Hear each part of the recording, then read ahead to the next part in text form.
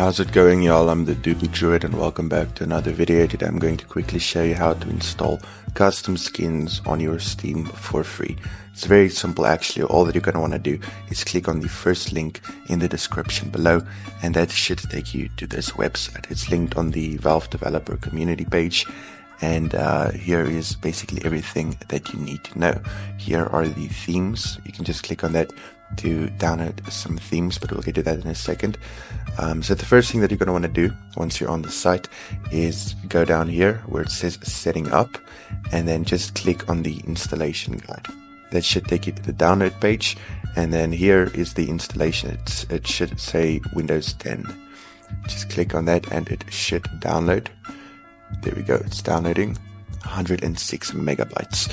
Now, while that is busy downloading, I'm just going to go back one page and then select a few themes real quick.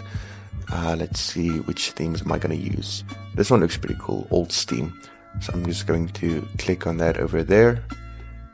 And then let's have a look at the screenshots. Okay, you see, this looks pretty good. This looks like the old Steam when it was first released. So this is really cool. It's very nostalgic. Um, so now we just need to download it. Uh, here it says at the top left, download. So we'll just hit that, and as you can see, it's finished. Now the uh, app is also finished, the, install the installer. So what you're going to want to do is just run that.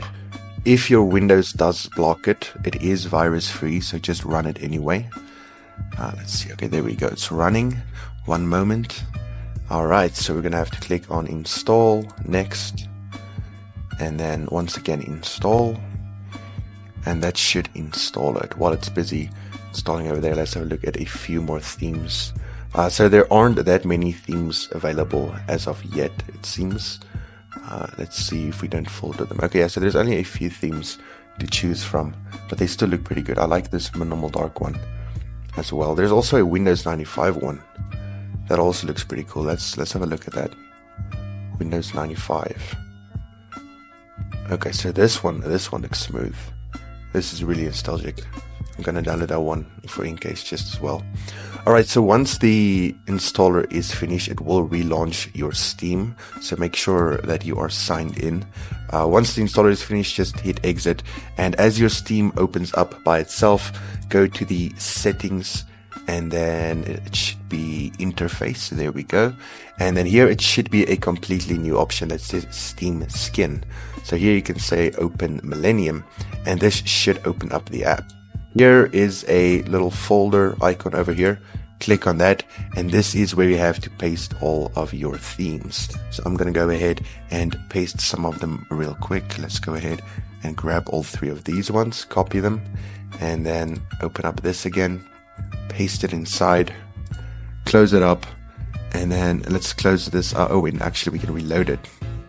Yeah, let's just click reload library and then it should be working any second now. Let's close all of these extra things up over here. Okay let me close it up.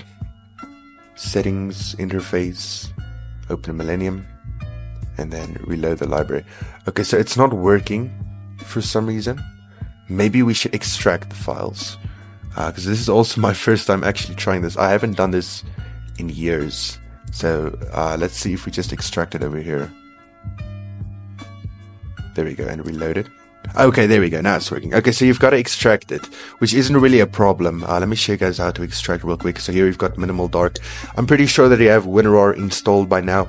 If you don't have WinRAR installed, just open it with the Windows Explorer and then copy it from that folder.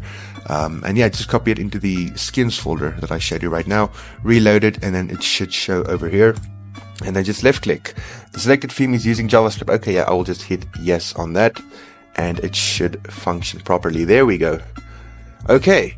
That was my first time doing it as well in like two years because I remember they kind of took away the support for skins last year, so I didn't really bother with it again.